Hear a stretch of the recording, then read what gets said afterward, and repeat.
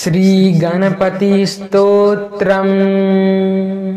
सुवर्णवर्णसुन्दरं सितैकदन्तबन्धुरम् गृहीतपाशकाङ्कुशंवरप्रदाभयप्रदम् चतुर्भुजं त्रिलोचनं भुजङ्गमुपवीतिनम् प्रफुल्लवारिजासनं भजामि सिन्धुराननम् किरीटहारकुण्डलं प्रदीप्तबाहुभूषणम् प्रचण्डरत्नकङ्कणं प्रशोभिताङ्ग्रियष्टिकम् प्रभातसूर्यसुन्दराम्बरद्वयप्रधारिणम् सरत्नहेमनूपुरप्रशोभिताङ्घ्रिपङ्कजम्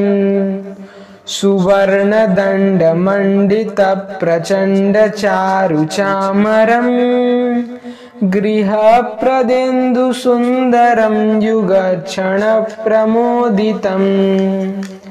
कवीन्द्रचित्तरञ्जकं महाविपत्तिभञ्जकम् षडक्षरस्वरूपिणं भजे गजेन्द्ररूपिणम्। विरिञ्चि विष्णुवन्दितं विरूपलोचनस्तुतम्। गिरीशदर्शनेक्षया समर्पितं पराम्बया।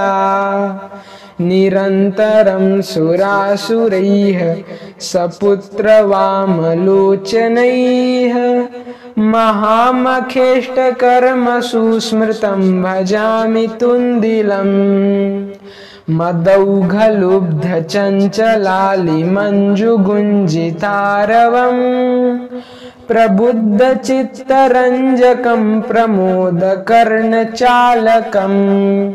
अनन्यभक्तिमानवं प्रचण्डमुक्तिदायकम् नमामि नित्यमादरेण वक्रतुण्डनायकम्।